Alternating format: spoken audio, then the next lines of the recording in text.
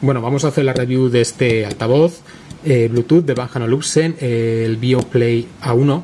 Es un equipo que pesa, pesa más de medio kilo, pero como todos los productos de Van Luxen, eh, la calidad de diseño que tiene, la calidad de acabado que está hecho a mano y la calidad de sonido es espectacular, sencillamente espectacular. Una delicatessen, como pongo en la descripción.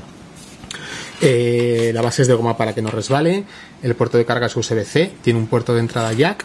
Luego, aparte, tiene los botones de encendido, volumen más y volumen menos. Y por el otro lado, tiene los botones para sincronizar con Bluetooth, el micrófono. Y ahora vamos a hacer una prueba. ahora que ya lo tengo enlazado, perdón, con eh, la aplicación que hay de Banjano Luxen para dispositivos móviles. Esta aplicación permite manejar muchas características del equipo, como son la ecualización, también puedes el, el volumen, por supuesto, y parar o reproducir.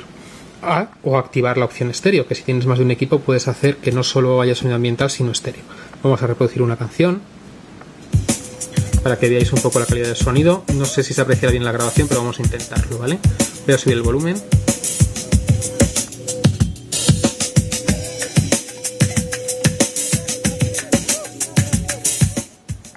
Bueno, veis que no distorsiona, eh, con el volumen incluso, incluso muy alto.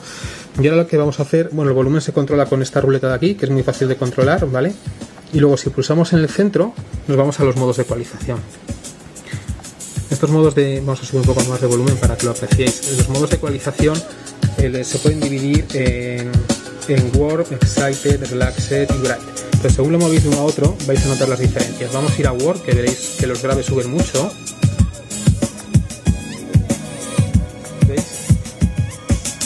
embargo, si vas al opuesto a Bright, pues predominan los graves y, eh, perdón, los agudos, los graves se minimizan.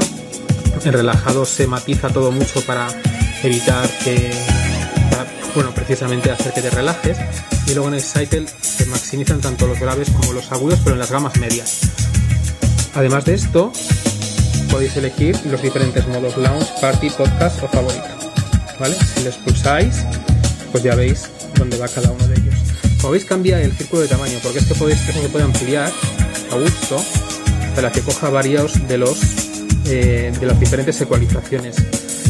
La verdad es que es un gran equipo, no os lo voy a negar, es un equipo caro, también es cierto, pero si os lo podéis permitir, busquéis un altavoz Bluetooth de calidad, con un sonido muy, muy bueno, espectacular. Nunca pensé que un altavoz Bluetooth pudiera sonar así, la verdad. Y, y bien acabado, con calidad, desde luego este es el equipo yo me he quedado de verdad impresionado. Un saludo.